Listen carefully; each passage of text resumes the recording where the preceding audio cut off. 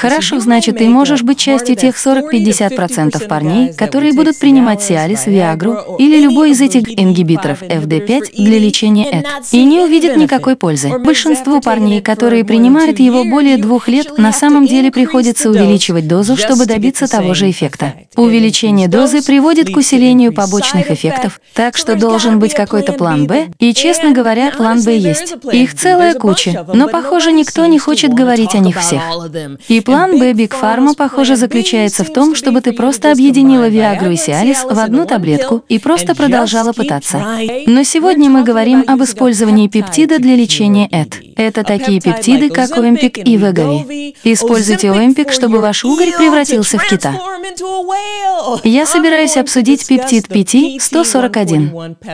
Вот этот малоизвестный заменитель Сиалиса, который вы можете использовать вместо дженериков ингибиторов PDE5, сделает вас настолько выносливой, что мужчины даже называют его оборотнем.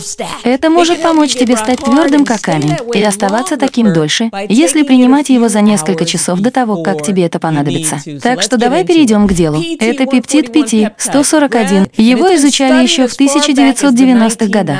Препарат 5-141 был изучен на парнях, страдающих психогенной эректильной дисфункцией, и они рассматривали его как потенциальную замену Виагре или как дополнение к ней. Они использовали его как назальный спрей, и они действительно провели двойное слепое плацебо контролируемое исследование, в котором использовали 5-141 вместе с Виагрой на парнях, которые не могли использовать Виагру, потому что она не действовала. И это сработало. Итак, давайте поговорим о побочных эффектах 5-141, дозировке 5-141 и о том, где вы можете достать это вещество. Таким образом, возникает вопрос. Если 5-141 может так хорошо действовать в виде назального спрея, почему об этом не говорят? Почему его не используют? Почему мой врач не сказал мне об этом? Ну, на самом деле, вы не можете запатентовать такое природное вещество, как пептид. У крупных фармацевтических компаний на это нет денег.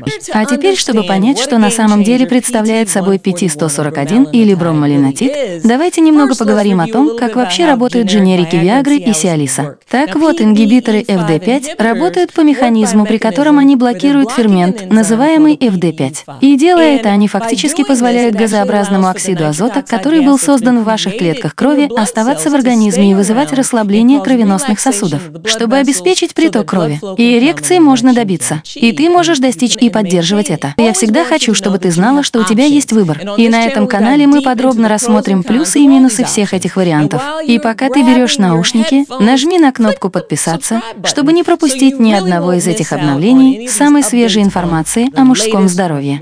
Теперь появилась менее известная альтернатива Сиарису и Виагре – пептид 5141. Может быть, ты добилась результатов с другими препаратами, а может быть и нет, но с этим у тебя потенциально меньше побочных эффектов. Так что же происходит с этим каскадом событий, когда твой рецепт на дженерик Виагры или Сиалиса перестает действовать? 5141 на самом деле не является новым пептидом. Я нашел исследования, относящиеся к началу 2000-х, к концу 1990-х годов, в которых рассматривался 5141 как альтернатива Виагре. Специально для мужчин, которые не могли переносить побочные эффекты или которые были частью от 30 до 50% мужчин, у которых это просто не получается. Итак, бриомеланотид. Первый немного о нем.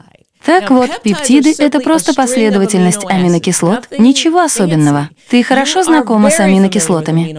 Креатинин — это аминокислота, а пептиды — это, по сути, уменьшенные версии белков, которые на самом деле являются строительными блоками для белков и определенных функций организма. И они естественным образом встречаются в организме. А созданные человеком пептиды имитируют природные пептиды, которые содержатся в вашем организме. И они стали чрезвычайно популярны в средствах массовой информации на практике из-за минимальных побочных эффектов и потому, что, похоже, не сильно меняют. Я уверена, что ты слышала о таких популярных пептидах, как Вегави и Аземпик. Да, те самые пептиды, которые эффективно снижают вес. Но пептиды интересны тем, что во многих случаях мы видим, как они действительно лечат болезни, что на самом деле является новинкой для западной медицины. Крупные фармацевтические компании традиционно не вкладывают много энергии в пептиды, потому что изолированные белки и пептиды относятся к категории натуральных эффективных продуктов. Они могут оказаться непатентоспособными, что означает, что заработать миллиарды долларов на пептидной терапии действительно сложно. Но эти пептидные методы лечения могут решить многие проблемы со здоровьем, благодаря их способности воздействовать на определенные пути и функции организма, чтобы все шло своим чередом.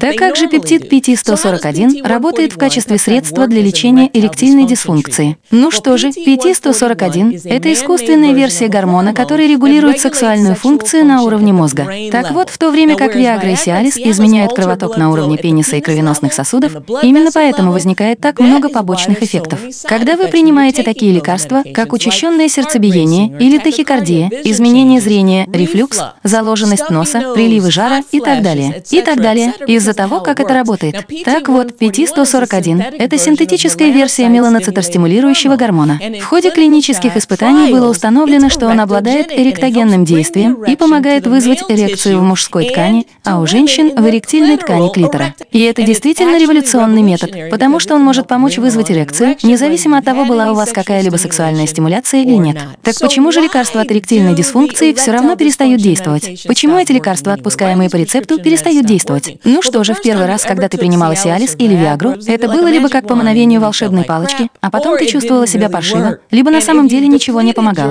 А если у тебя истощились запасы оксида азота в организме или у твоего организма возникли проблемы с его выработкой, если присутствует слишком много фиброза или утолщенной ткани полового члена, что происходит со временем время, когда эректильная ткань перестает получать то питание, которое она получала в возрасте 20 лет. Если кровеносные сосуды слишком повреждены, когда гормоны нарушены или не сбалансированы, и если у вас есть повреждение нервов, либо в результате травмы, либо в результате хронических заболеваний, таких как диабет и гипертония, и если нервная сигнализация была нарушена или ослаблена, или если у вас что-то происходит. Что-то вроде психологического блока, эти лекарства могут вам никогда не помочь. Теперь, когда Виагра перестает действовать, пептид PT-141 можно использовать либо вместо нее, либо в дополнение к ней. А PT-141 на самом деле приносит сексуальную пользу как мужчинам, так и женщинам. Доказано, что он повышает сексуальное влечение как у парней, так и у девушек. У женщин было доказано, что он усиливает генитальное возбуждение, которое особенно необходимо женщинам в переменопаузе.